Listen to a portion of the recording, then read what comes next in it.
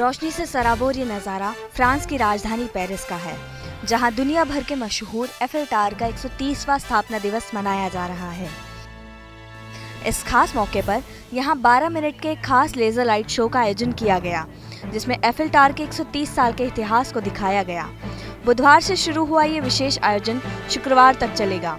इस विशेष कार्यक्रम में एक 1300 बच्चों को भी शामिल किया गया। उन्हें दुनिया के इस बेमिसाल टावर के बारे में जानकारी दी गई। वहीं 2024 में पेरिस में होने वाले ओलंपिक गेम्स को देखते हुए एफिल टावर के रेनोवेशन का भी काम किया जा रहा है। आपको बता दें कि एफिल टावर को 31 मार्च अठारह सौ नवासी को पर्यटकों के लिए खोला गया था।